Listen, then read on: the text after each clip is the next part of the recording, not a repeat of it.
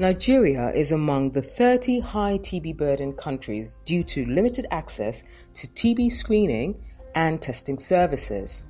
But with support from USAID, the National TB Program, the Stop TB Partnership, and aligned stakeholders, Bashir Ahmad, a local radiographer, is able to set up and run systematic rapid screenings in Nigeria's most remote areas. He is on the front line, saving lives, cycling to hard to reach communities using the ultra portable digital x ray system and computer aided detection or AI software. It's my responsibility to take the examination in terms of position the patient, then we'll collect his samples. CAD4TB is really helping because actually it can detect TB at early stage. That's the first one. And secondly, the heat map can show you the patches around the chest if there is any patches. You'll see it with your eyes. It's my town, my community, my people. So it's a dream.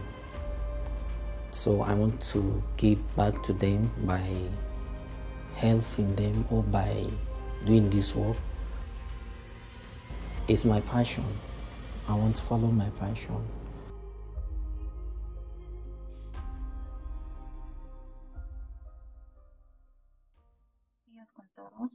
Good morning, everybody. We are going to start with a webinar about transforming the search for TB in Latin America. So we are going to see the power of the of the portable x-rays and the artificial intelligence. I'm going to give you some instructions right now. When it comes to the use of cameras, microphones, and the questions and answers. This webinar is being interpreted in English. If you want to listen to Spanish or English, please click on the interpretation option and choose the language you prefer. For the questions and answers, please use the chat. We are going to pay attention to the questions that you write there.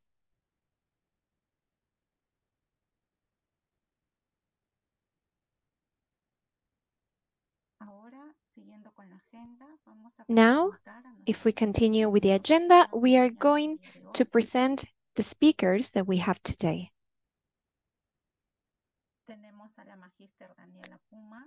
We have da da Daniela Puma.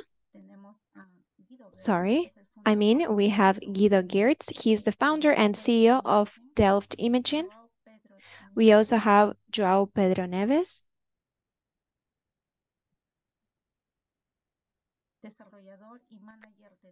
He's the business developer. We have also the program, the program coordinator in Peru.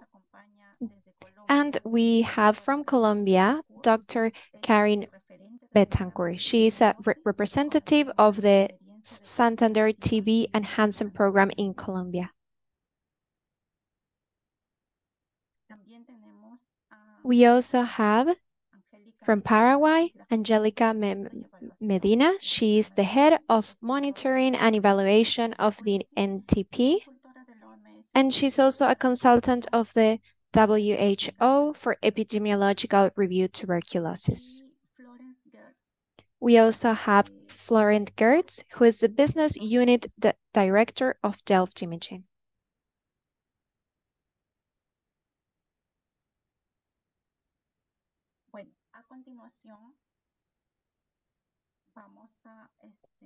Next, we are going to explain the interpretation as I explained earlier. So you have to click on the option below that says interpretation and you have to choose English or Spanish. Now we are going to hear the welcoming words for Guido.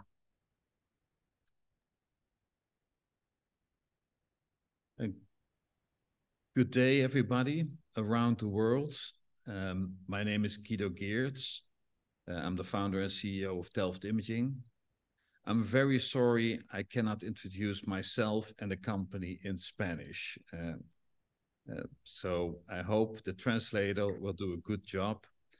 Uh, my colleague João, of course, he will do it in Spanish, uh, and the rest of the speakers as well. So for the all our speakers today, a warm welcome. Thank you very much uh, for being with us today. Uh, being a, uh, almost a senior myself, I always get the easy job, and that's uh, the introduction of the company uh, and the history. Uh, so, as you see below on the logos, Delft Imaging is part of the Million Lives Collective. That means we have impact on more than million, a million people were living on five and a half dollars a day. We are also uh, a B Corp, uh, and actually, uh, last year we uh, uh, were uh, mentioned that we were on the top 5% of B Corp corporations, and it means a social enterprise that focuses on impact. So we're not an NGO, but for us, impact is the most important part of the company. Uh, nobody is funding us, so we have to be profitable, but we are focusing on impact. Next uh, slide, please. So our focus has always been on uh, screening of tuberculosis. So here you see some uh, images uh, starting from actually the factory of our uh, original mother company. So already in the 50s of the former century, we were screening tuberculosis. We were uh, an X-ray manufacturer, still are, uh, and you here see uh, the production of analog Odelcas. So most of these Odelcas, these analog X-rays, uh, were, went into smaller clinics or in these old vans, as you can see in the middle uh, of the picture, and then we had doctors looking at this image.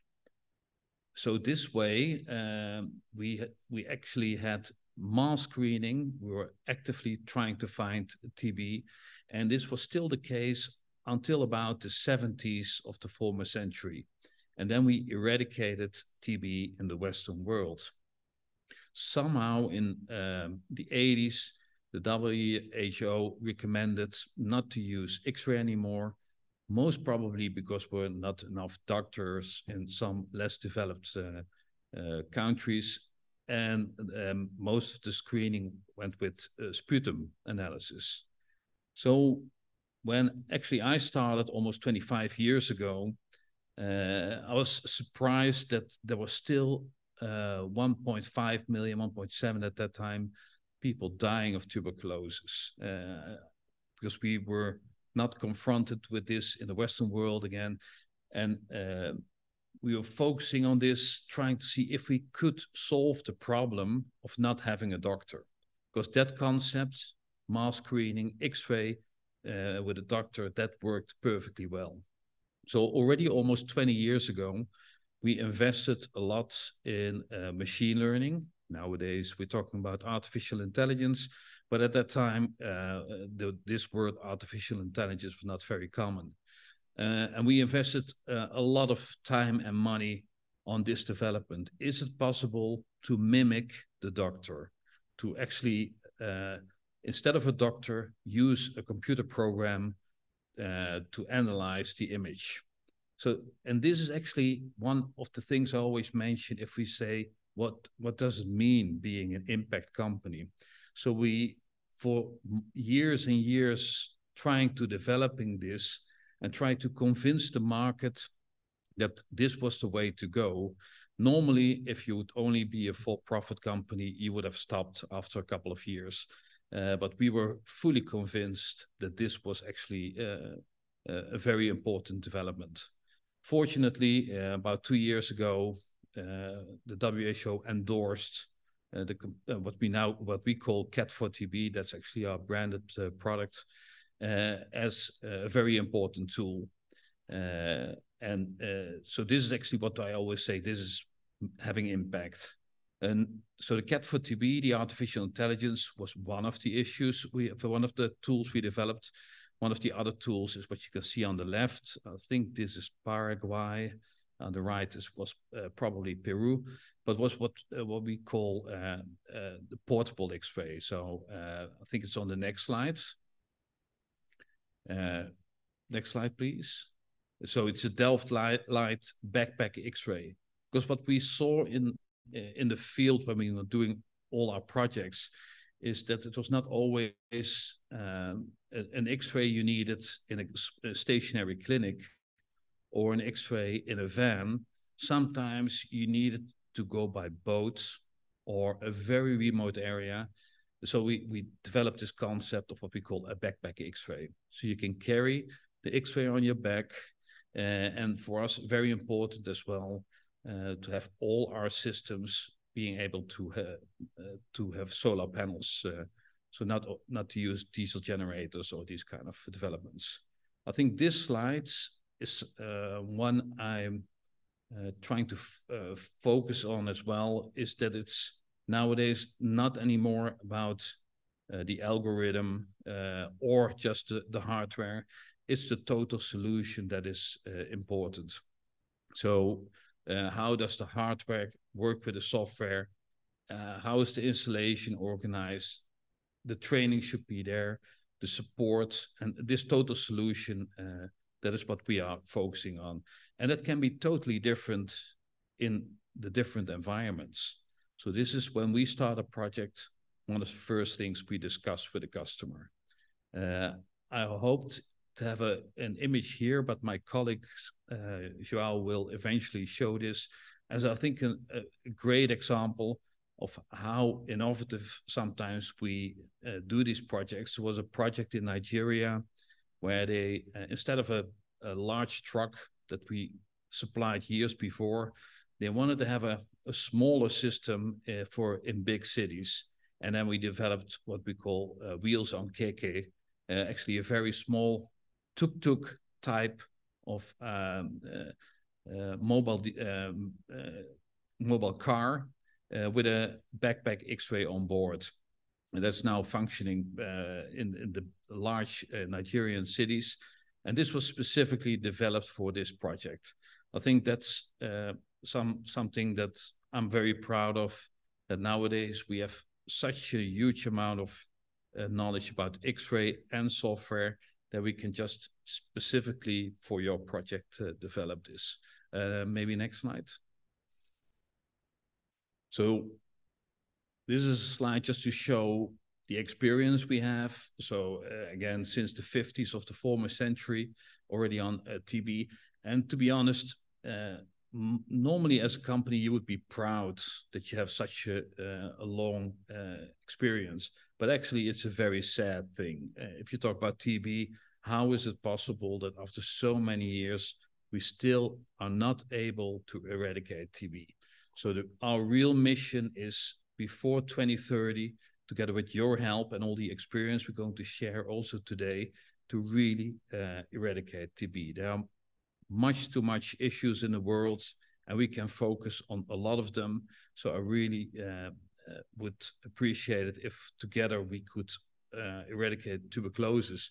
And just to show them what we have done till now, on the right side, is the cumulative uh, numbers.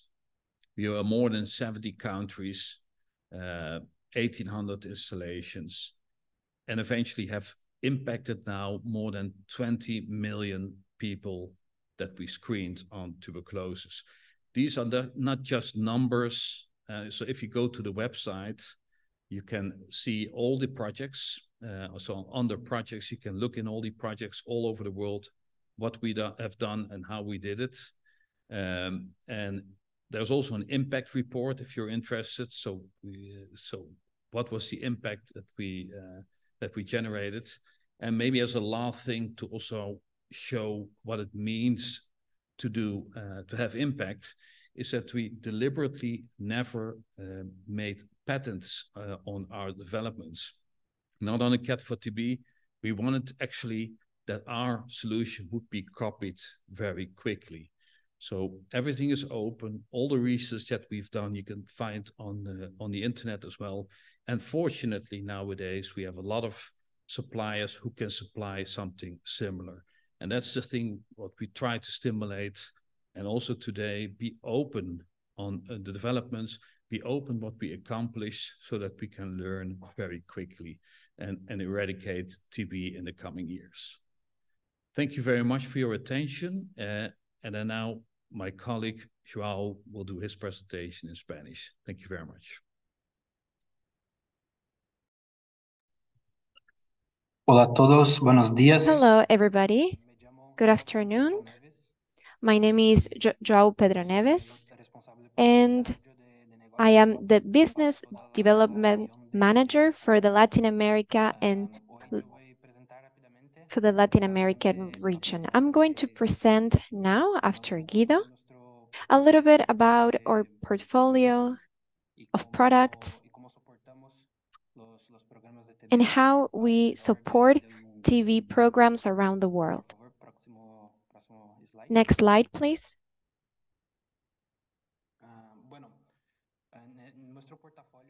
Okay, our portfolio, we work with three types of equipment.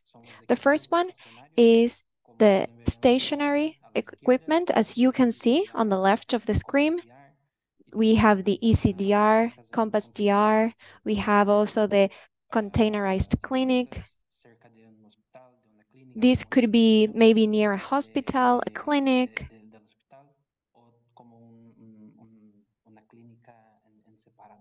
or this can be a clinic itself. Then we have mobile equipment. As you can see in the picture, we have Mac M1, and we also have the One Stop TV mobile clinic. This is basically a clinic in a container, but it's at the same time in a truck. So of course, this can go to places that are far away. And then we have the equipment that it's portable, Ultra, and we have the backpack and the Delft Ultra handle, handheld. The main difference between these different types of equipment is how portable they are and the amount of scans and screenings that you can do per day. Of course, the more portable the device is, less is going to be, smaller is going to be the amount of screenings that can be done. In our portfolio, we have all of the types of equipment and the TV program, which is the investigation that we are doing on the TV. We have, of course, the possibility of using the equipment that works the best for that specific program. Next, in the portfolio, we do not only work with X-ray options, we also have AI software, and we work with this offline as well. You can use this online, offline. It depends on the internet connection you have. In the software, we also have the platform, the Cat4 TV platform, where you can have the data, to support the program, the decision making. So you can decide where to put an equipment, if it's necessary to move it to another area, another region maybe. And finally, to complement our portfolio, we have the service and the support. So this means that we have trainings that can be online or on-site we also have a platform for learning. This is for the constant learning of our users, of, of our equipment, of our technologies. And then we also have the maintenance service of the equipment, the software. All of this that I just explained, all of this is available through different catalogs. As you can see below, we have the PFSCM, and also the catalog from the UN and the Stop TB partnership. Next slide, please.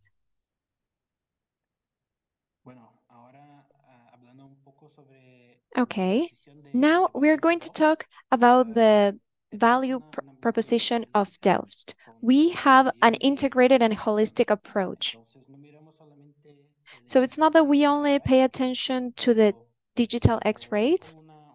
We work, we look at this, at this as a complete thing. It's we also have artificial intelligence, we have the training, we have the support, maintenance, we have everything all working together so that the TV programs can have all of the tools from just one provider. We want to offer a complete solution so we can re reduce the amount of TB cases and we can reach key populations. Next slide, please.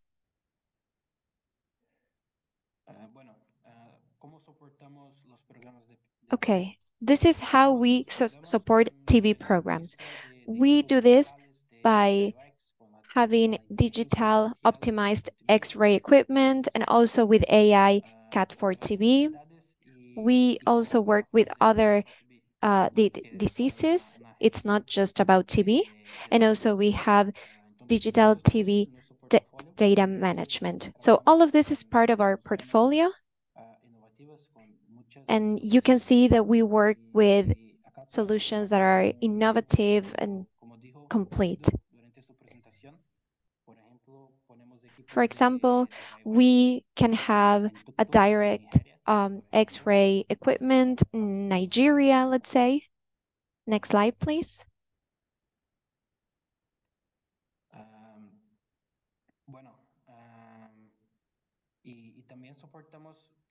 And then we support TV programs with services, as we said, with trainings, with maintenance support, and we guarantee that the program the government has has a total cost of ownership so that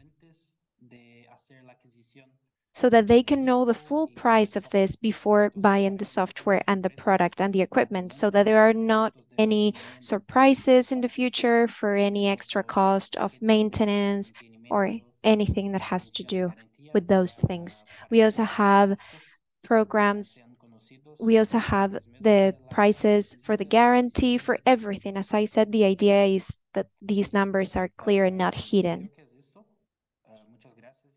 Okay, I think that's it. Thank you so much. Now we're going to move on to the presentations from different countries. Thank you so much for listening. Next slide, please.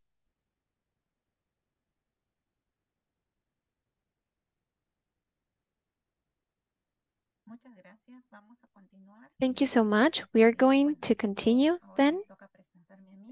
Now I am going to present myself. I am Karen. I am a manager of the here I am working today as in this call in the webinar and I just want to, to, to talk a little bit about the partners in the health area. Before talking about this, I want to talk about our headquarters and we are present in 10 countries and we've been here for 21 years strengthening health in many countries. In Peru, we have been working there for 26 years. We all should have the right to have medical assistance, but for millions of people in Peru, this is not the case. With your support, we can provide health to the poorest places in the world by working together with local entities to help them. The approach we have is a companion. We work with our allies and colleagues in the community and local authorities with different levels of nation entities so we can help and improve health services. How can we guarantee health? We have different strategies like strengthening support, working with the creation and strengthening of communitary agents in the health area. We believe all human lives are very important and all of them should have the same opportunities. That's why we try to close breaches in health matters. We work to prove that health quality is a universal right. We want to show social injustice and we want to stop the, the breaches that we have in that aspect. We work with the Ministry of Health. We work with networks of health, local entities, public, private as well, and we are working with the society itself. We guarantee health through our professionals who provide, in many cases, assistance in the addresses of the people. We also work with different programs. One of them is the TB program, where we apply, where we have an active search. Through our program for TB, we focus on identifying TB and fighting against TB.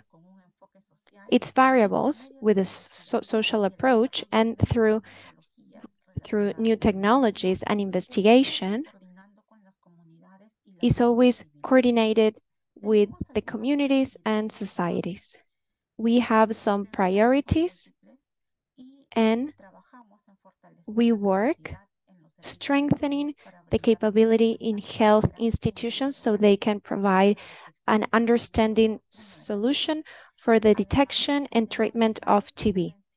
We also have many interventions and investigations when it comes to TB that help to contribute the knowledge necessary to develop strategies and effective treatments that we are applying. We also work on advocating for TB. We help society to participate more in actions in favor of people who suffer from TB. Finally, we've also worked on sequels, on side effects as well from TB, and we try to develop strategies for people who have finished with the treatment for TB, but still have some medical problems that need medical care. Within our projects, we have three main ones. One is the active search for TB cases.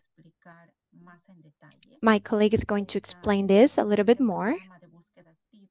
She's just going to talk more about this program with TB this is a strategy that we've been applying for many years now with support of tech technology, of course.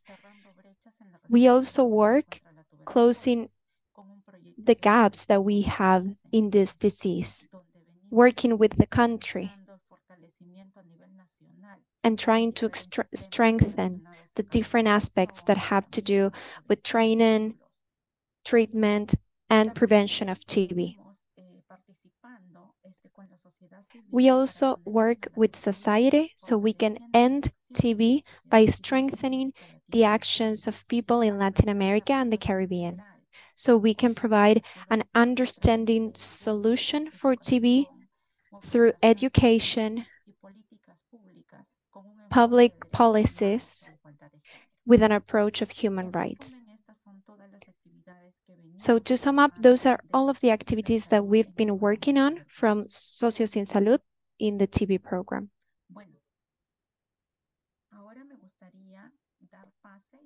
Now I would like to present the next speaker.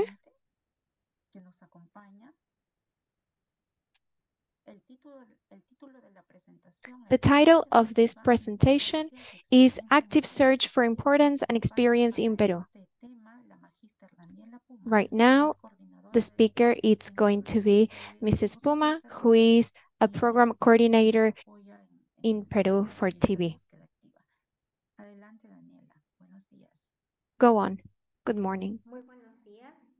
Good morning, everybody. Thank you so much for inviting me so I can talk about my experience in Peru. Next slide, please.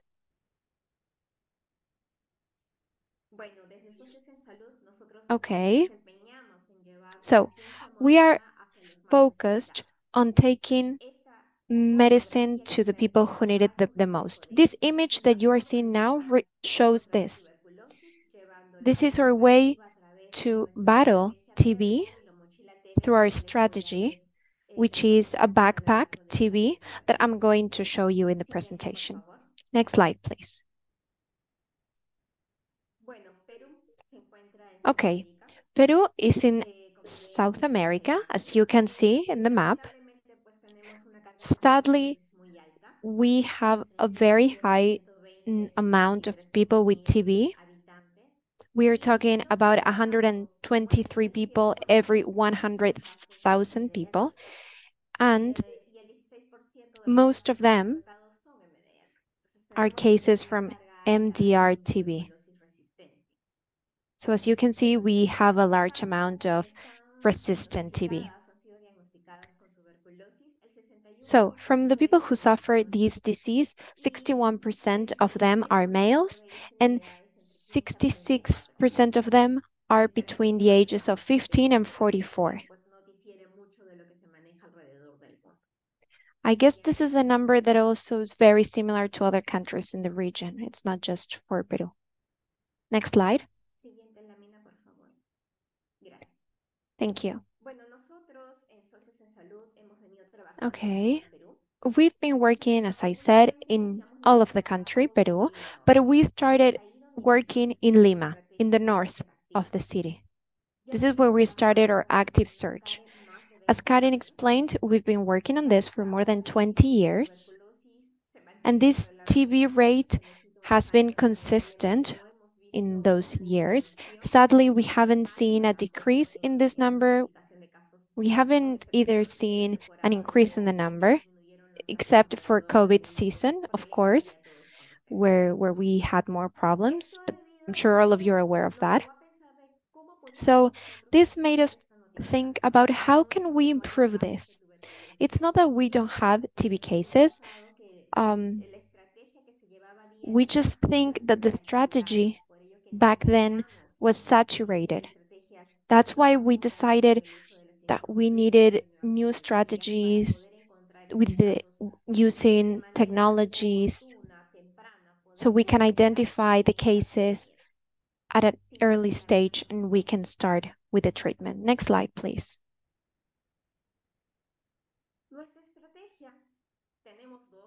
Our strategies, well, we actually have two.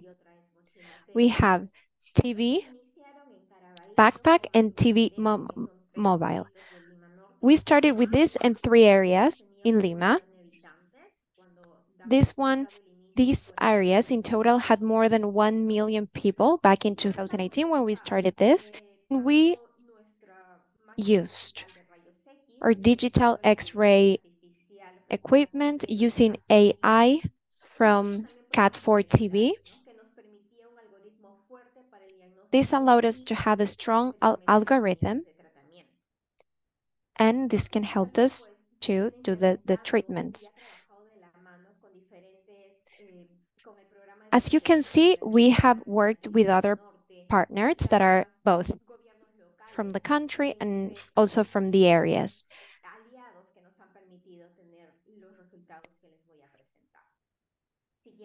Next slide, please.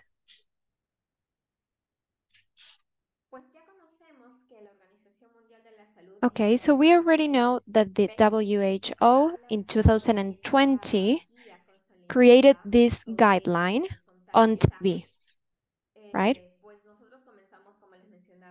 So, as I explained before, we started in 2018 and we didn't have this type of gu guidelines before.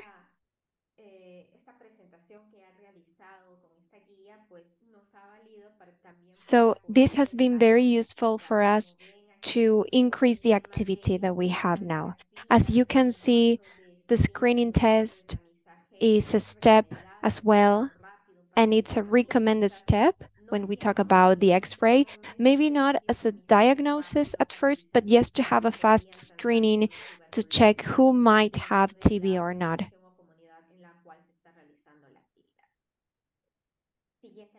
Next slide, please.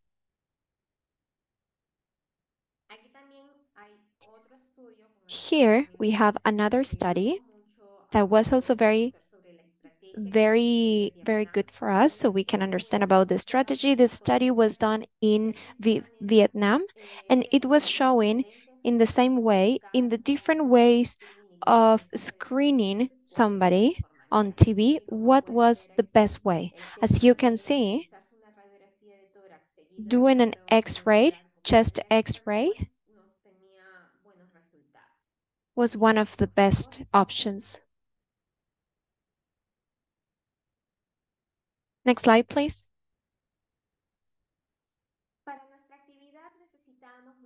For our activity, we need, well, first, we need to get the community involved, right? Because we depend on them. This helps us to reach more people and, and also make them think that there is not a stigma when doing a screening, right? Because it's important. It's a disease that anybody can have, although it has a negative, um, a negative impact, let's say, on people. So we just had some posters. We talk about the disease. We had some songs about this. We worked a lot with leaders in the community, with people that had already su suffered from TB here are just some pictures of examples of what we did. Next slide, please.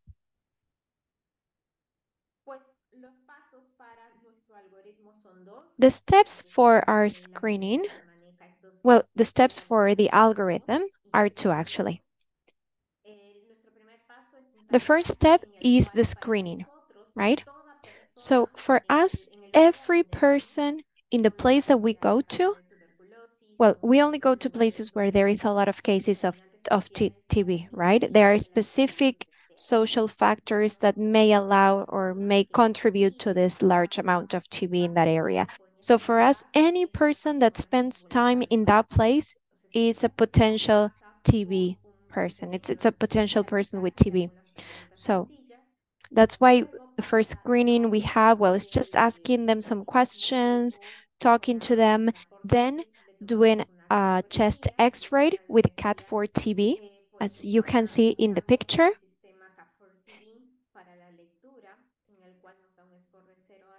And then we get a result from 0 to 99, and we can know if the scope is more than 50. This means that this person needs to have an extra step, needs, needs to be seen again. Next slide, please. These are some pictures in our mobile unit. As you can see, this is the equipment that we use, that we have been uh, using in the last couple of years.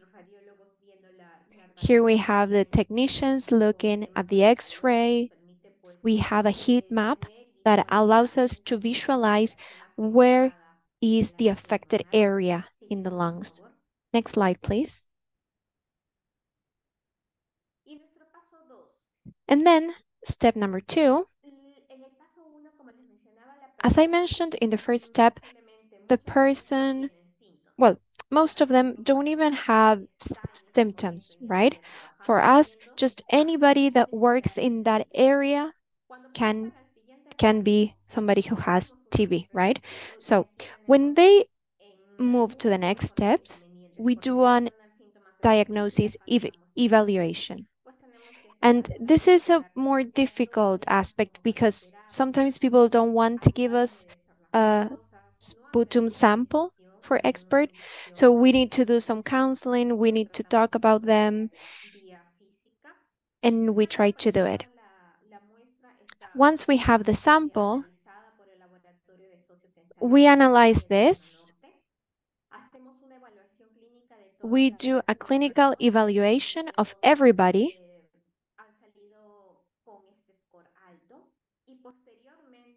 And then we have the diagnosis whether that person has TB or not.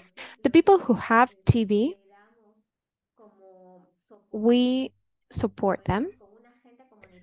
We create a community agenda so that the entity in the area can provide the support and the help needed until the end of the of the treatment, right? Because that is the main goal, right? Not only ending the disease, but also starting with the treatment. Next slide, please.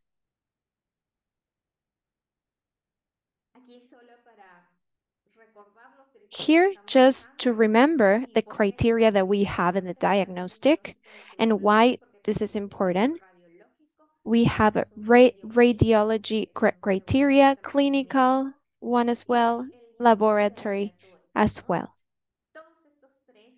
These are the three things that we take into account to identify the TB cases.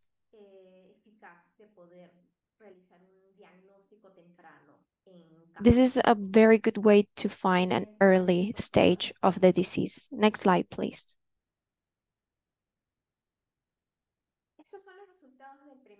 So these are the results from the first year.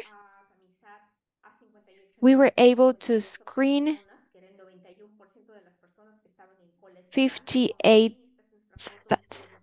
people. As you can see in the picture, there is so many people waiting to get tested and like to get the screen.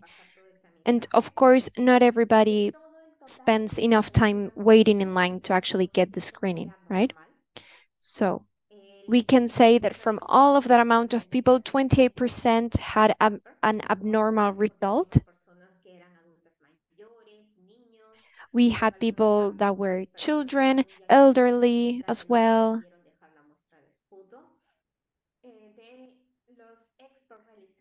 And then from the experts, 2% were positive, 14% had a re re resistance to rifa rifampicin.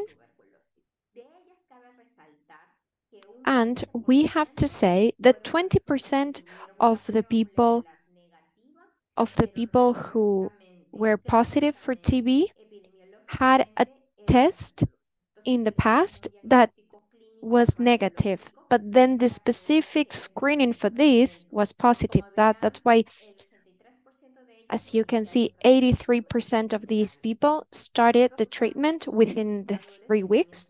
We have two indicators that are very useful in these active search st strategies that this is the number of people that should be screened. So at first, we had this number that every 100 and 150 people that we ev evaluated, only one had TB. Next slide, please.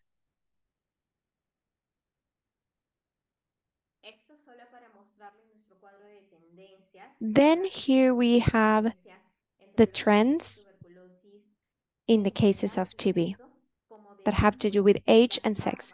As you can see, the bars help us to know the amount of people. It shows that we screened more people, more women than men, actually. But the lines tell us the people who actually have TB.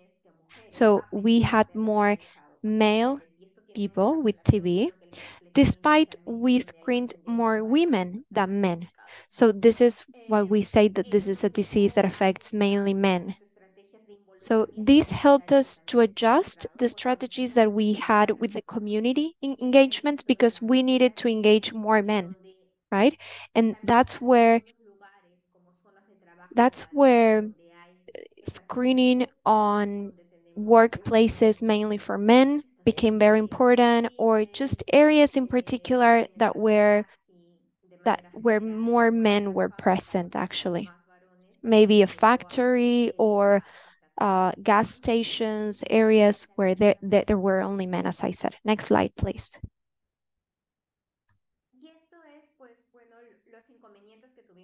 And then these are the challenges that we have when we started the treatment.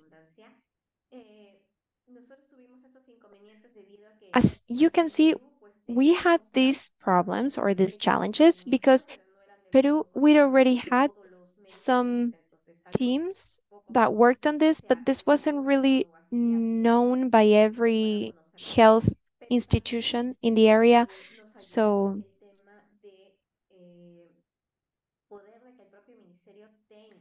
something that helped us a lot was that the Ministry of Health got their own equipment and started to share them with institutions.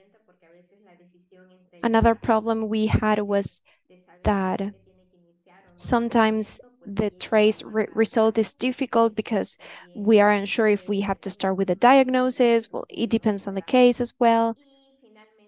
And finally, the cases that are detected but not with a doctor. I mean, this was a problem at first as well, but we were able to improve this as years went, went by. But these are basically the challenges that we faced on the first year. Next slide, please.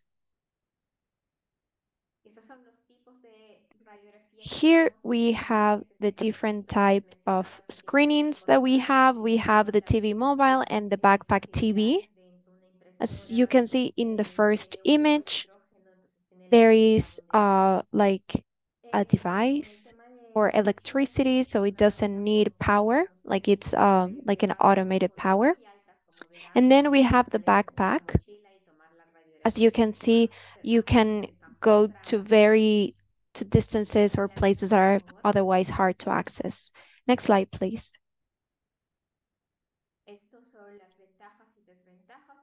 Here we have the advantages and the, and the, the disadvantages on this. As you can see, the truck can transport all of the material, all of the equipment inside. Like that's a very good aspect of it, right? But the disadvantage is that, of course, this is a larger investment and it's difficult to access some areas with this truck, right? And with the backpack, it's super easy because it's just something that anybody can carry and you can take it anywhere, basically. Also, the radiation is smaller as well, but the problem is that we cannot print the screenings. And of course, it also needs electricity. Next slide, please. And then just to finish, over the years, well, right now we are in 2023, so we've had many experience with uh, different types of people and yes. And here we have a table, a chart with the different types of population. As you can see, we have the trans transgender people who have around 29% um, of abnormal X-ray. Then we also have uh, people who live with HIV. Here we have, let's say, all of the numbers, all of the people that we have studied over these last years. And then something else that we have done is we analyzed people who live around specific areas, right? Poor areas where they have higher number of TB. And also migrant people. Even though it's not a very large amount of people, it's still a significant amount of people who suffer from TB. Okay, next slide, please. These are some pictures of the activities that we have done. Next slide, please. And then I want to invite you to please watch this on Netflix. This is the, the story about us. I think it's going to be only this week on Netflix. So if you can and you want, please take a look at it. Thank you.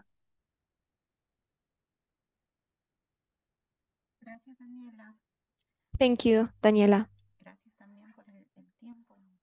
Thank you for your time, for the presentation. Okay, now we are going to move on to the next speaker. We are now here with Karine Betancourt. She's representative of the program in Colombia. And the title of her presentation is Active TB Search Experience in Santander, Colombia. Good morning, everybody.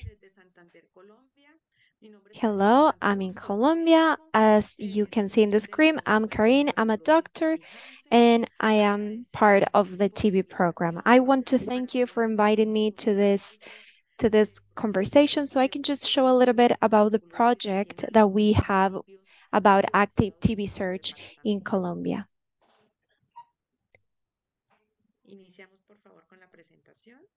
Okay, the first slide, thank you. Uh, okay, so the project that we have in Santander aims at the prevention of TB. Next slide, please.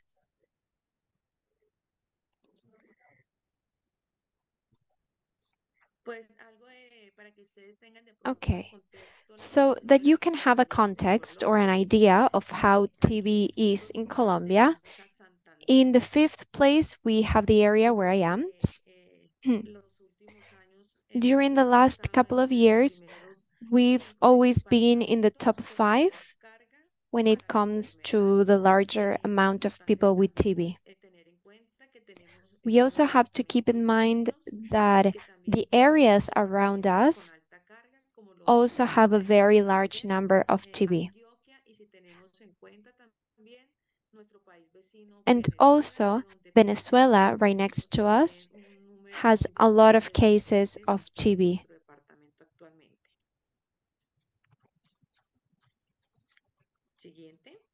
Next slide, please.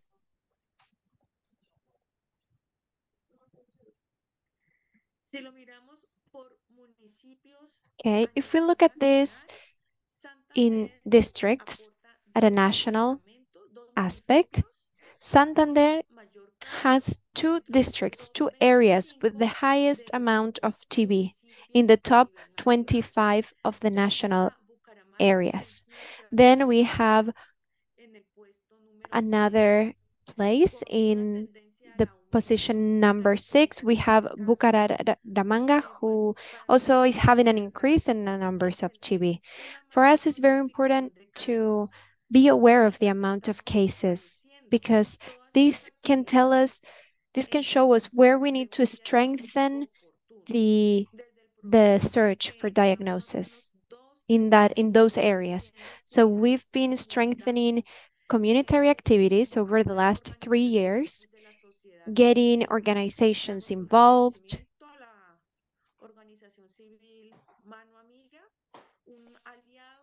and we had we have of course partners facilitators and people who work with us helping us to support the people who suffer from tb in number 22 we have Barrancabermeja and so you can have this information like in a clear way we have two areas in the nation and we are the fifth area with the highest amount of TB. And then in the top 25, we have two cities, two areas that also have the highest amount of people with TB. Next slide, please.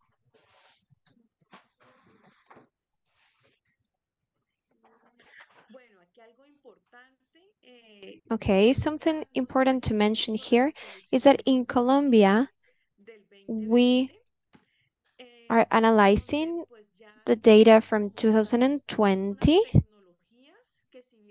And there are some technologies that already existed back then, but were not very popular back then.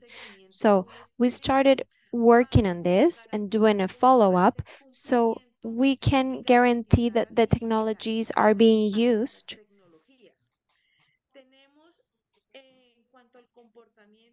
When it comes to the pulmonary TB cases, from 2020, we had 85% of pulmonary cases and then right now that number it's 90-10. That means we have a higher amount of cases, pulmonary cases.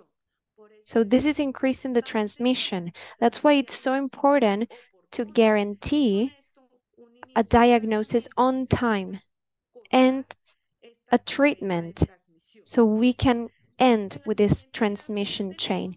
In the next image, we have the cases diagnosed by new technologies. I say new technologies because we started using them in 2020. But of course, these were developed in the past, right? Before that, we have molecular tests. Santander had a team expert on this, and then we also have liquid culture culture and bacilloscopy, which is something that we all know. And unfortunately, or not, in some places, this is the only technology that they have available so they can have a, diagnose, a diagnosis. If we take a look at this, when we started, bacilloscopy was the main way to identify the cases, but as years went by, with the follow-up and the support and everything from the team, we are able now to show that the molecular test provides a large number of cases that allow us to have a diagnosis on time and can show us a resistance or not, so we can adjust the diagnose and the strategy. Next slide, please.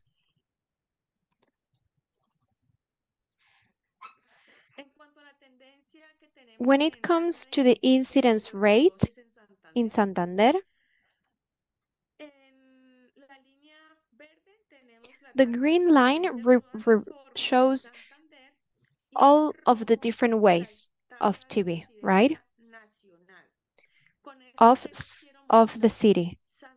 And then the red line shows the cases in the country. So as you can see, the place where we are is way above the country's level.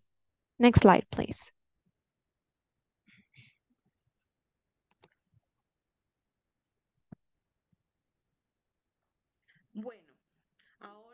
Okay. Now, this is something that motivates me and makes me extremely happy, is to show you the experience that we had with our mobile TB. you are going to see that, well, as everybody, we had a lot of challenges, a lot of problems, but this taught us a lot of things so that in this new year that we are starting with using this again, we don't make the same mistakes or we don't have the same errors that we had in the past.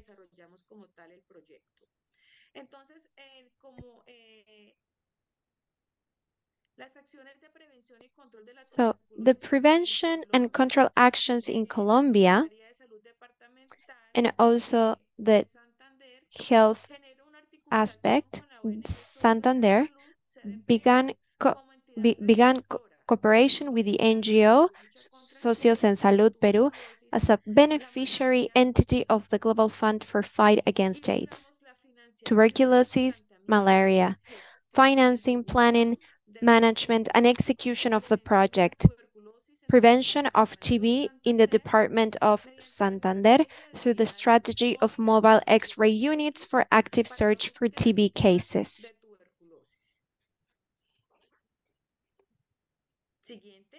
Next slide, please.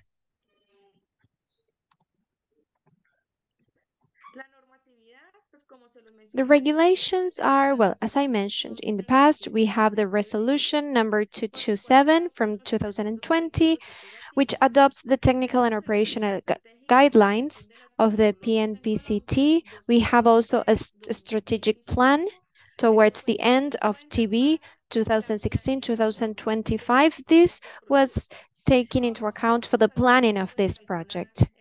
We have here some images of the publications and actually the advertisement that was spread around in the in the different cities. Next slide, please.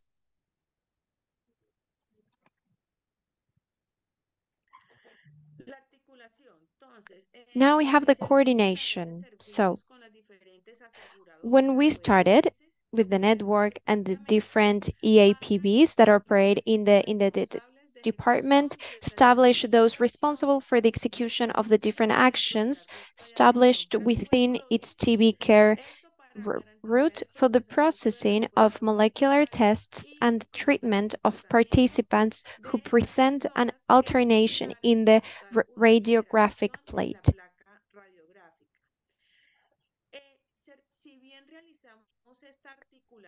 Even though we do this coordination and we had work teams in many areas,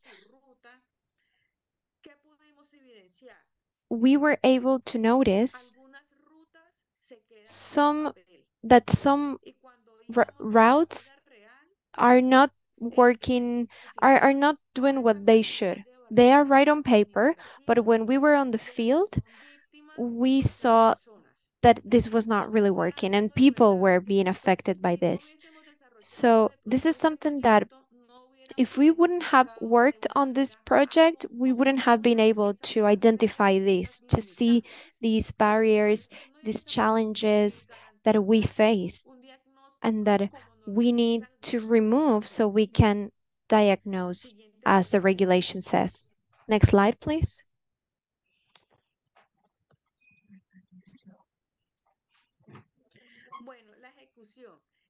Execution. This project was carried out in 11, in 11 municipalities prioritized by the Departmental Health Secretary through the Corporation of the Construction of Social and Community Human Sense, Sentidos.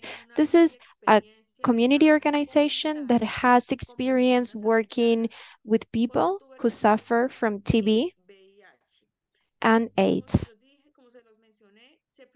As I told you, 11 areas were prioritized where we took into account how many people were suffering from TB, how many people were re resistant, and the amount of deceased.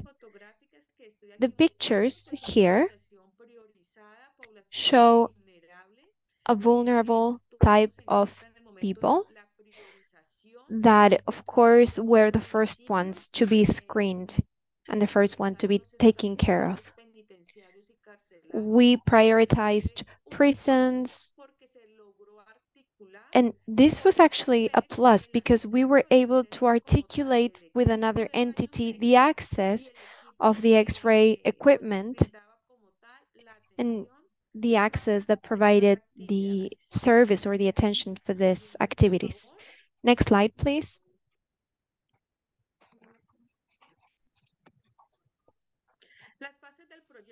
Okay, here we have the project phases. We planned something, of course, but unfortunately, we had an endless amount of problems, challenges, and we were able to to solve some of them in a fast way, others took a little bit longer, but this made us adjust our chronograms, like our schedules, right? So in February and March, we had articulation of agreements and organizations of the project. Then in April, May, we work on the structure of the process. In June, July, we worked on the education and awareness of TB together with a very large team of professionals, technicians, and communitary agents that of course play a significant role in the search, diagnose, and support of people who suffer from TB. In August, we had screenings, but one of the challenges that we had made us made us have intramural screenings only. And then November, sep September, with the rest of the team, we were able to develop activities extra. I mean, this was our main goal, right? Right? To have screenings that are not just intramural, but it's actually outside of that so we can reach the community and vulnerable areas.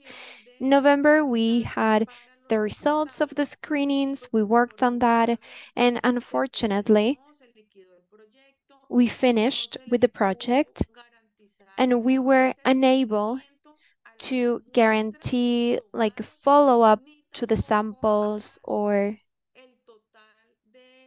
to the total amount of images that seemed or that looked abnormal. So this was another challenge we faced. And this year, the new activity that we planned from the program contemplated all of this, right? So we don't make the same mistake and we run out of data. Next slide, please.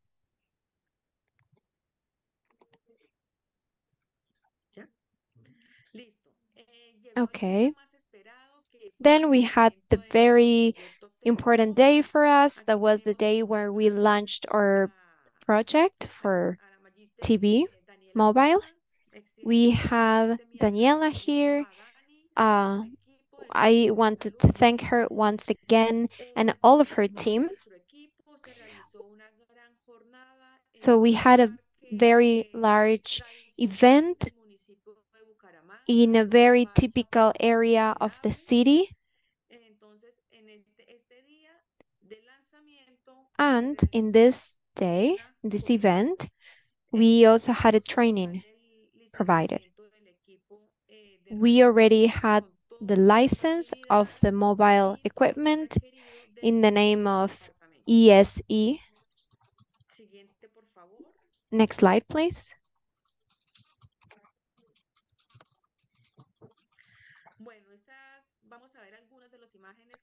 Okay, now we're going to look at the pictures as I told you. This is in Barranca Bermeja, which is number 22 in the areas with the largest amount of TB at a national aspect. And we had an event on awareness and education on TB. Then the operational team carried out the search, assessment, and sampling according to the EAPB route of users with altered scores. Next slide, please.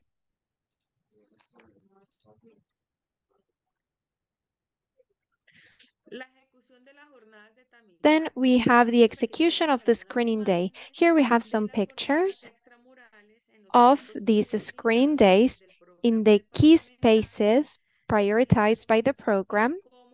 So we prioritize areas like Girón, Piedecuesta, and these are part of the metropolitan area. We also have Ma Matanza, Puerto Parra, San Gil, Socorro, Cimitarra, and Sabana de Torres. We also had screening days in wellness centers for the elderly. You can see some pictures here. We are talking about elderly people, maybe with disabilities as well, and also in community centers to support street dwellers. Next slide, please. Karen, you have one minute and we need to finish. Yes, of course. Okay. Here we have, as I mentioned, the areas where we worked. Next slide, please.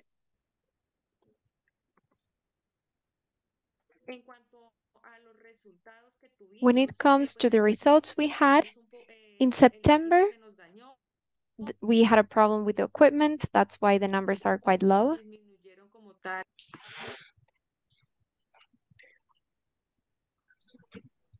Next slide.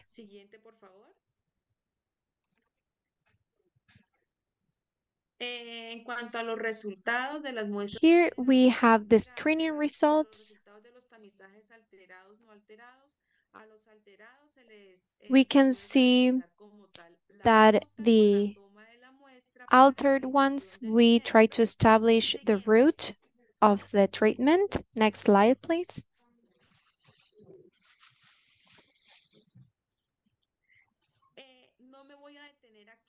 I'm not going to explain this because uh, we already talked about this, the route of, of the study. So next slide, please.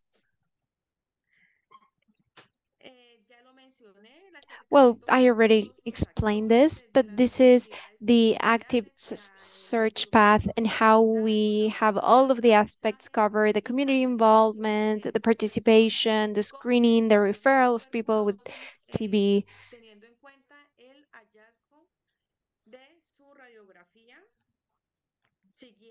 Next slide, please.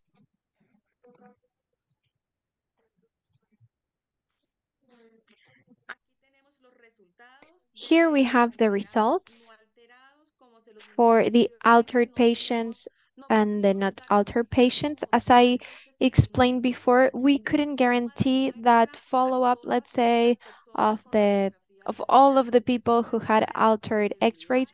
This was one of the weak aspects that we had. So we really hope not to make the same mistake in the next project. We really hope that we can get a real number ever since its beginning until its end. Next slide, please.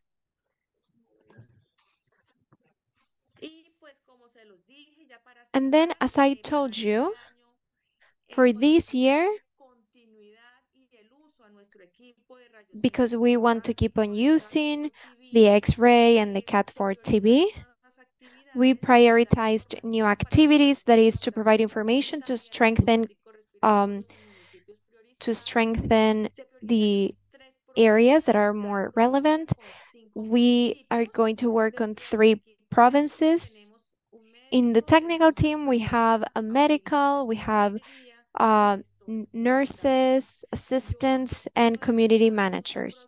I really hope that in the future, I can get to show you the results. We already did the presentation of the project. We had the awareness events. And tomorrow we are going to start working on the screening, the X-ray screening tomorrow. On Saturday, we are going to be in Barrancabermeja. So I really hope I can get to share some really positive news and to carry on using this equipment and help people with TB. And also so we can guarantee a treatment and end with the transmission chain in a better way. Okay, next slide. Thank you. That's it. I'm finished. Thank you so much for letting me share this with you. Thank you, Karin.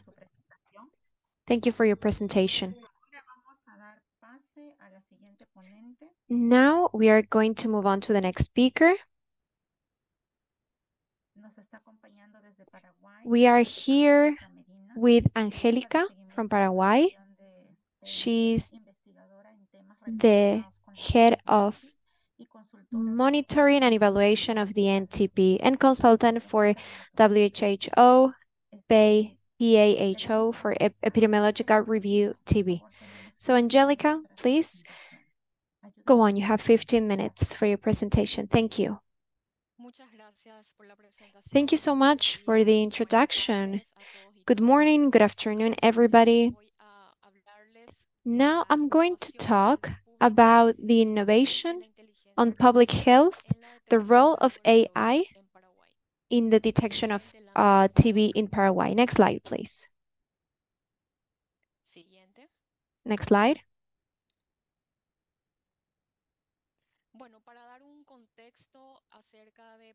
Okay, so for you to have a context, Paraguay is in South America, and according to the last numbers that we got from 2020, we actually got this information three weeks ago.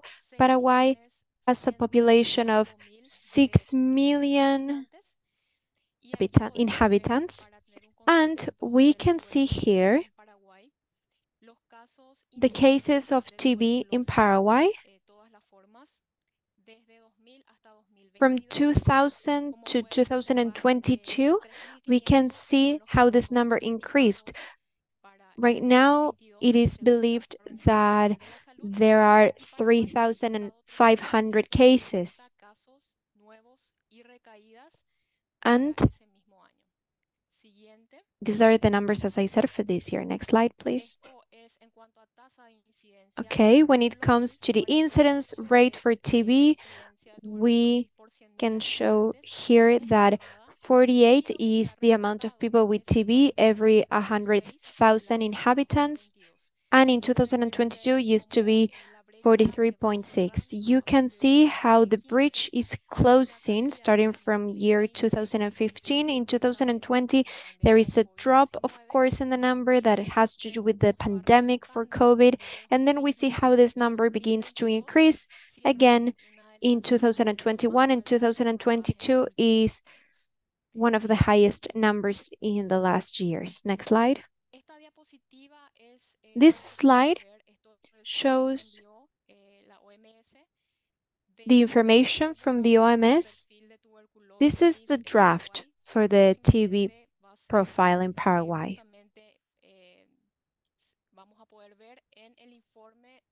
We are going to be able to see these in the global TB re re report from the OMS in the future. We can see that the incidence, which is this green light, we can see, and then you can see a black line, which is part from Paraguay. So as you can see, in 2020, the bridge is almost closed. And then the difference that there is between this slide and the previous slide. The, the, the difference is that the OMS uses the estimated population from the UN when we actually use the estimated po po uh, amount of people, inhabitants from national entities. Next slide, please. Next slide, thank you.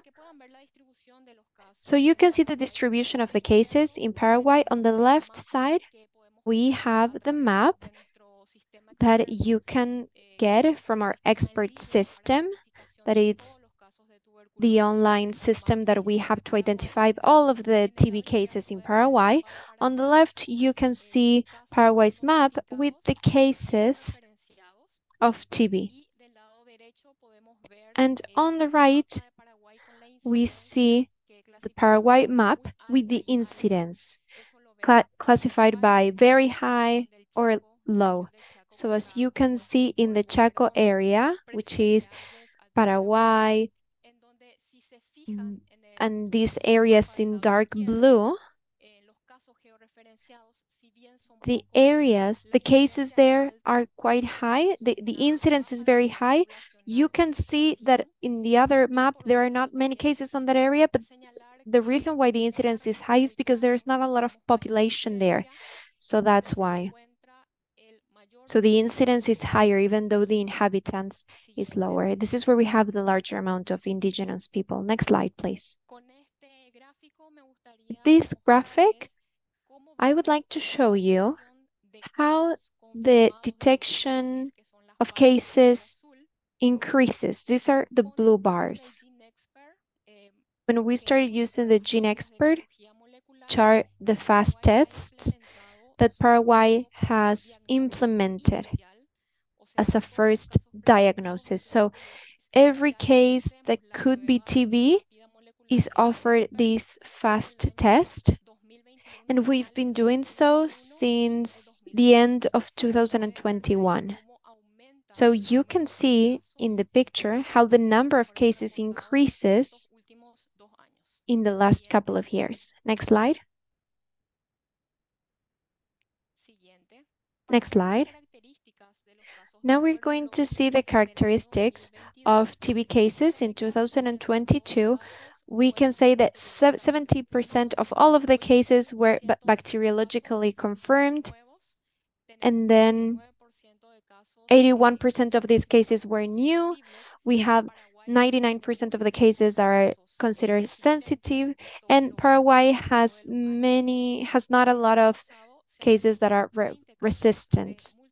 And last year, we've only had 20 cases. So this is also taking into account that we have already implemented the GeneXpert as a diagnosis.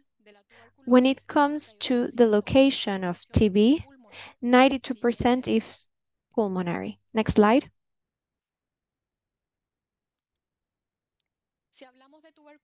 If we talk about TB and the problems it had in 2022, 10% of all of the TB cases, it's this means 3,500 cases, 10% of them were people who had HIV. 7% was people with diabetes. Next slide, please.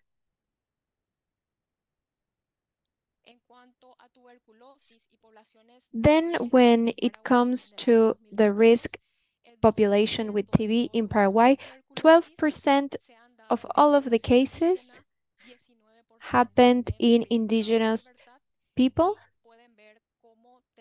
And as you can see, we have people also who suffer from um, addictions uh, of smoke, other types of addictions as well, and people who live on the streets. Next slide, please. The characteristics of the population with TB in Paraguay when it comes to uh, female and male. As it happens in everywhere else in the world, TB is a disease that mainly affects men and in the ages of 15 and 40. Next slide.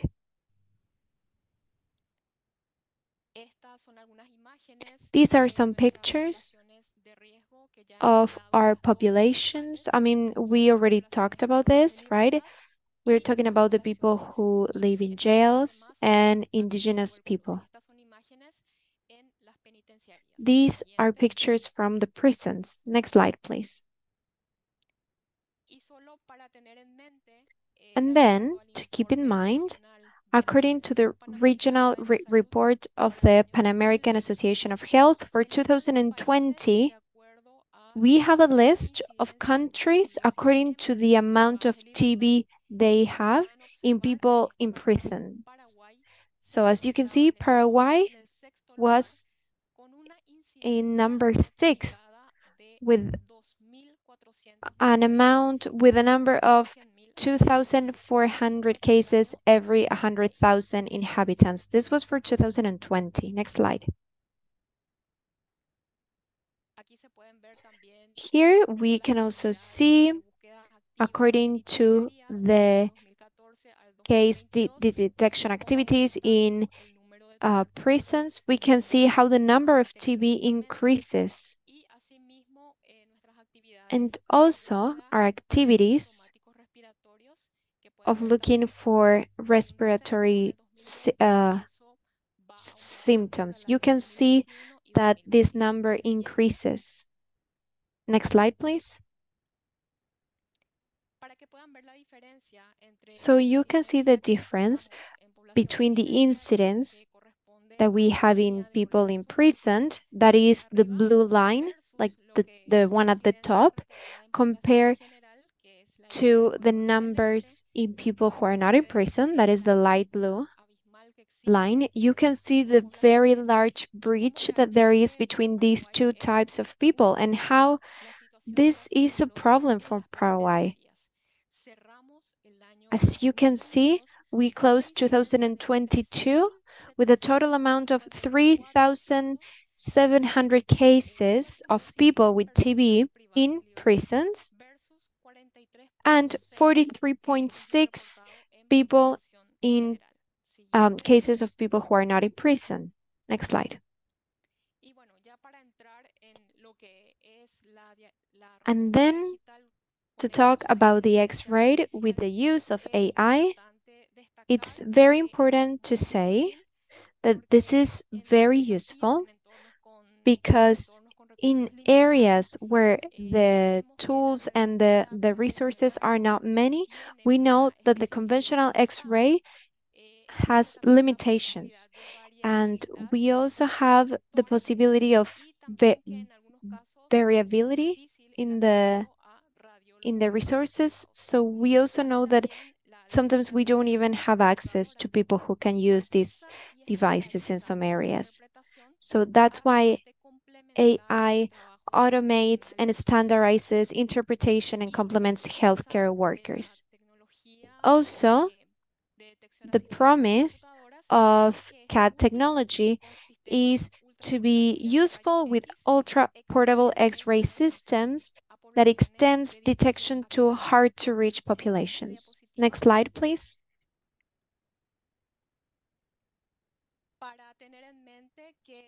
And then, according to the NTP strategy, we have three main pillars. One of them is precisely about the intensification of the research and innovation.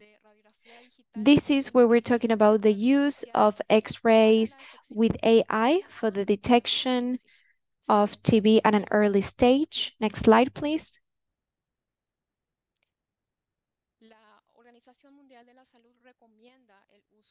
And then the WHO recommends the use of CAD for screening and triage. Next slide, please. Then in 2022, the WHO re recommended the use of CAD software programs for everything that has to do with the detection of TB in early stages. Next slide, please. And then also to strengthen uh, the efficiency of diagnosis with the aid of digital X-ray with AI. This helps us to have uh, an early de detection. This gives us precise images, and we can also identify other types of problems that have to do with the lungs and the thorax, and also it provides accessibility.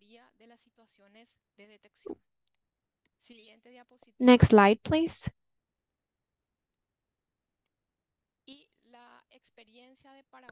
And then we have Paraguay's experience. Here we have to say that from 2016 to 2021, Paraguay has been working in the active search of cases, which was done according to the clinic. So from September 2021, we started a project called Prenos. This project is led by EUSAC. It's an organization that is made of people from Portugal, Spain, and Paraguay. And this project was focused on Paraguay's prisons, especially the ones in the capital and in the center of the country. With this project, we reached more than 3,800 people who were tested for TB, and we used the digital X-ray with AI. Now, from May 2022, Paraguay started its experiences with um, X-rays, digitals, and then in January this year, Paraguay started using screenings with digital X-rays through Delft equipment. Next slide, please. Now for you to see the circuit sequence for active searches. This is very similar to what has already been mentioned by the colleagues in Peru and Colombia. This is the algorithm that was also applied in Paraguay. And for this, we did coordinations with the team together with regional people in charge to go to those communities that were far away and maybe people also who were in prisons and indigenous people. So, as I mentioned, we had to do some coordination with local teams. We talked to the people and invited them to participate in these activities. And with the circuit, the first th thing we did was interviewing people to get their information. And after that, we presented the digital x-ray, what are the benefits, and asked them if they wanted to participate in that experience. Once they accepted, we had a score of 60 to be able to go to the sputum sample. So we can confirm or not uh, TB. And then in other cases, whether it was necessary to have samples and even though the x-ray showed everything was okay. Next slide, please. These are some pictures of how the team prepares to do the x-rays, how they look, how the images look. Next slide, please.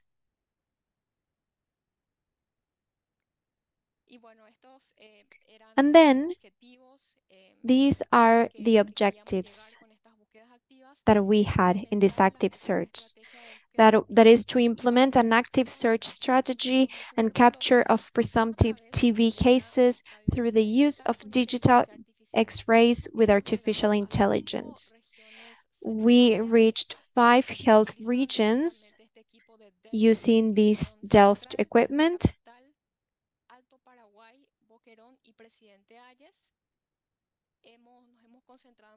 we focused on key population and also in those places with a high number of TB.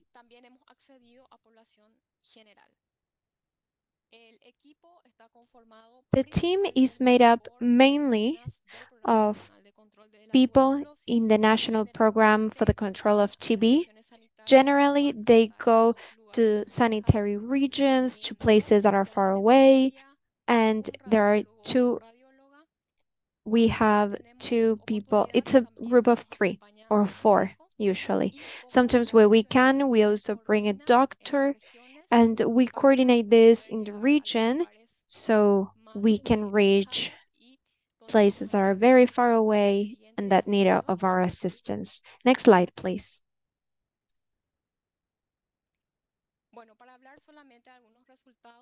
then to talk about some of the results, as I mentioned, we start to use the Delft equipment this year, actually in January. So we're still working on this, on our database, right? And we want to adjust our database and do an analysis and, and share our experience. Then from January to July, we were able to test 500 and around 500 people. 101 had symptoms. 89 were examiners. And in total, there, well, there were 12 cases with TB. Next slide, please.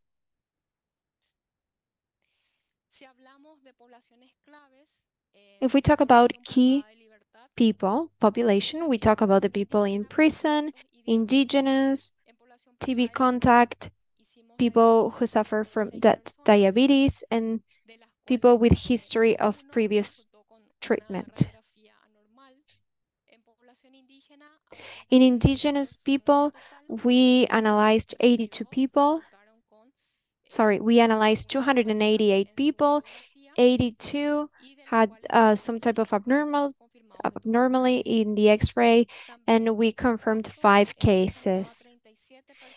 In contacts, we've analyzed 37 people, seven had no problems in the x-rays, and there were two confirmed TB cases. People who suffer from diabetes, we tested 39. Six of them had normal x-rays, and we had four confirmed TB cases. We also saw people who suffered from TB before in the past. 20 of them were screened, seven had no problems, and two were confirmed cases of TB. Next slide.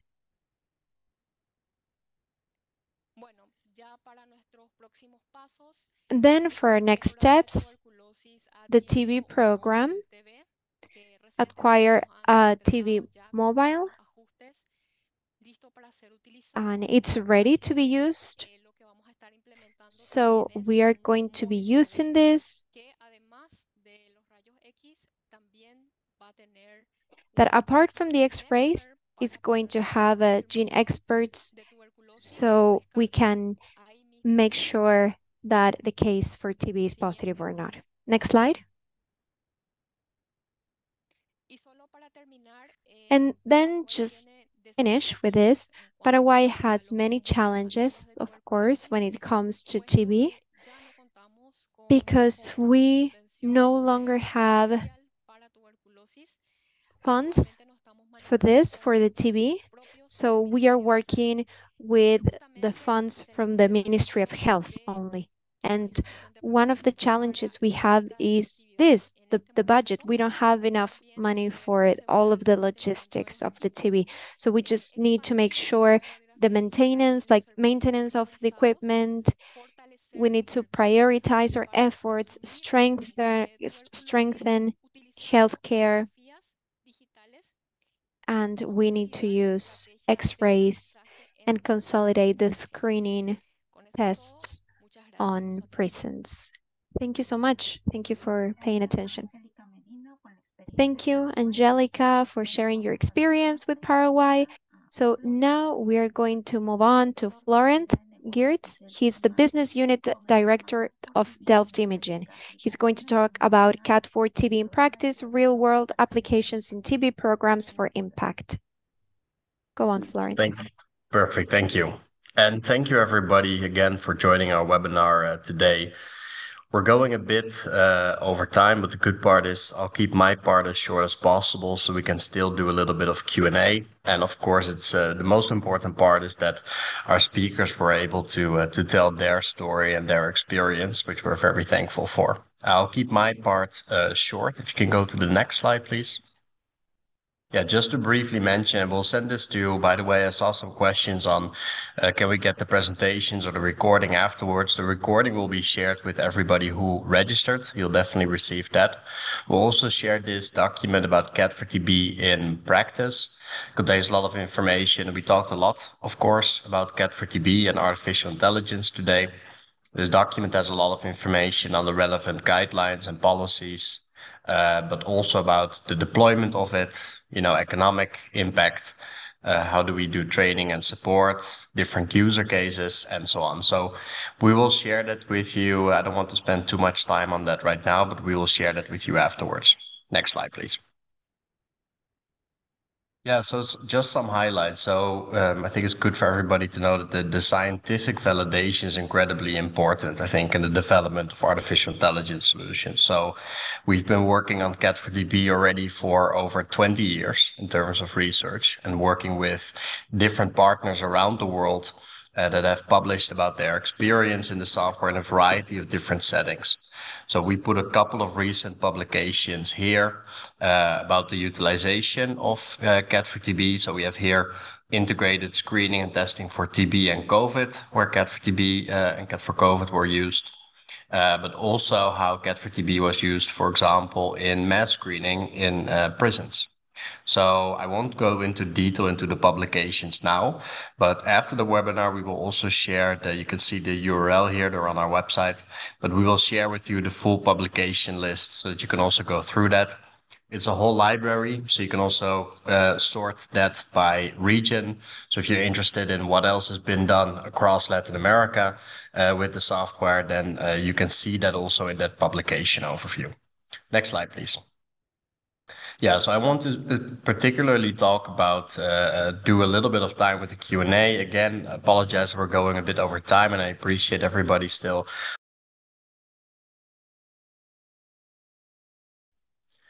So what I wanted to do is to go through the Q&A uh, a little bit with you. Um, so I saw a question uh, that was actually the first one that came in, uh, whether there's a portable X-ray is already in use in some countries in Africa. Yeah, definitely, but I think globally. So there's about 400 Delft Lights portable X-rays all across the world. There's about close to a thousand CAD4TB installations across the world. Um, we will share, we've just updated actually our, our project pages on the website where you can share all of the, see all of the projects and also those you can sort by regions. If you want to know where Delft Light has been used, whether it's in Africa or, or LATAM, uh, you can review more about that. Um, we won't have time for all of the questions, but what we always do is that we'll do as much as we can today with different speakers and then we will reach out to the different speakers and make sure that we answer all of the questions, and you will receive the full Q&A sheet afterwards. So I'm just going to pick a couple of questions for us to cover. Um, my first question, I would like to ask this to uh, Dr. Daniela. Um, Dr. Daniela, there was a question, is there a significant radiation hazard when you use uh, portable X-ray systems in open place? And how are you managing this? Sí, gracias por la pregunta. Pues yes, bueno, thank you for the question. When it comes to the mobile unit, it has um, plomo around it, so we have a license for it. Of course, it went under a quality control when it comes to that aspect. So Of course, it went through tests and everything to make sure that it's safe to use. When it comes to the portile equipment, we have a license to use it. And these can be used in the places where the mobile unit cannot go. And the recommendation we have is to have a, a large area. It has to be six meters long around. Please bear in mind that the radiation from this type of equipment is, of course, much smaller than the ones from other type of devices. But still, of course, we make sure that we use the equipment six meters away from anything else. Yes, perfect. Thank you, uh, Dr. Daniela. Indeed, the radiation exposure from these uh, new types of uh, systems in general is very low. I know that the STOP-TB partnership with others is also uh, researching this currently, so I'm sure there will be a publication about this out soon. I also wanted to add that we also provide guidance on our side and do training on how to work with radiation and how to mitigate radiation risk in the case of these portable systems, because of that's of course a very important component uh, of it. Um, there was another question from Valentina, I think was for you also, uh, Dr. Daniela. Uh, I think it was twofold.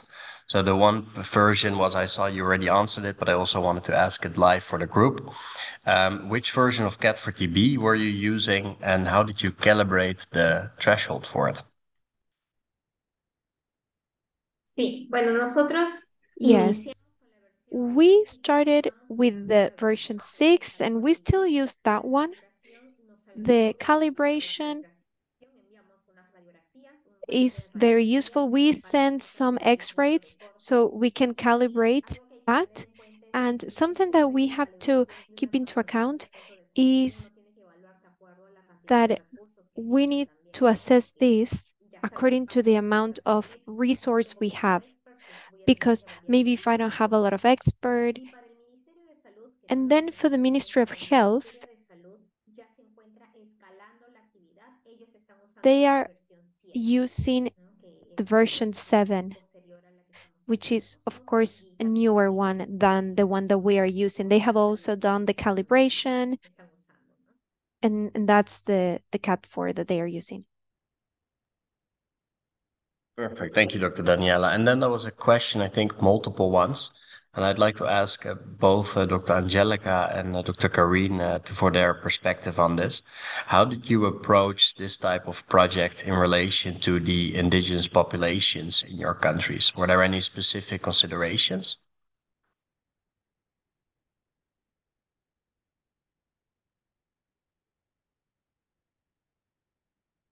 I don't know, perhaps if Angelica, yeah, I see that you've just unmuted yourself. Thank you. Sí, justamente una de Yes. las poblaciones claves que tenemos, así como presenté en One of the es key población indígena, things that we have in mind is this type of people, right? In indigenous people. So población that's why we los meses que estamos focus on these, on them, tecnología digital con inteligencia through the artificial digital X-ray with AI. So objetivo this is our target eh, people el for uso everything that has to do with the use of digital para X-ray and for the screening.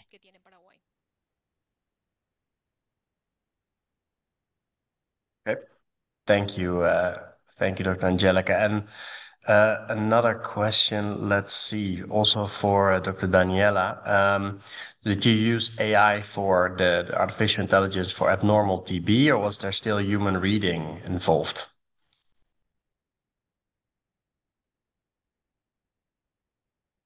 Usamos inteligencia artificial We use AI for all of the X-rays.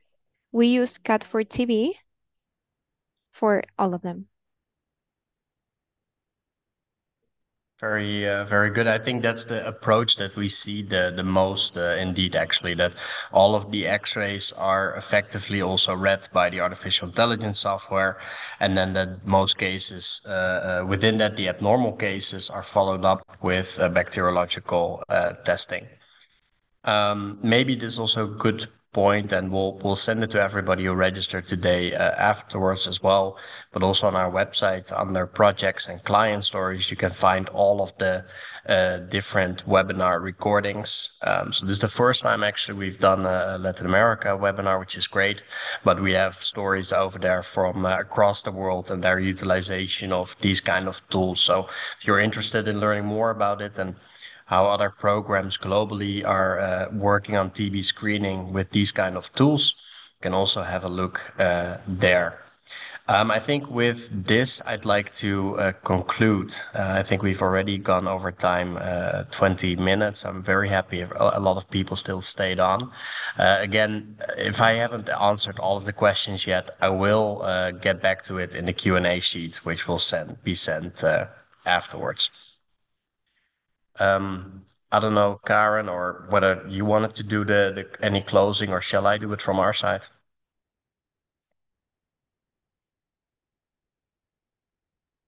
Está bien, Florent. Yes, it's okay. Then I'll uh, do it from my side. So again, I very much want to thank the different speakers for uh, for being here uh, today and for joining us. Uh, their time and their insights, I think they're incredibly valuable for uh, for everybody in the group. I think it also shows by uh, the very large amount of participants we had today, which is very great. So we're very grateful for their time and also thankful for everybody who attended it for spending your time with our webinar today. We do hope it was uh, it was insightful. Um, again, we will share the Q&A sheet afterwards. We will share the recording the CAD4TB document I mentioned, um, and also our full uh, publication uh, list. So, yeah, and uh, maybe also good to mention we uh, uh, have these kind of webinars uh, at least on a quarterly basis, also with clients and partners from us like all over the world, like partners like Socios En Salud also helped to, to host this webinar with us today. Um, so uh, yeah, there's a. We'll also send the link if you're interested in keeping track of future webinars. We'll send that link to everybody who registered as well. So for now, I wish everybody a good day. Thank you again for uh, joining, um, and uh, hopefully we'll see you in the next webinar. Thank you, everyone. Bye bye.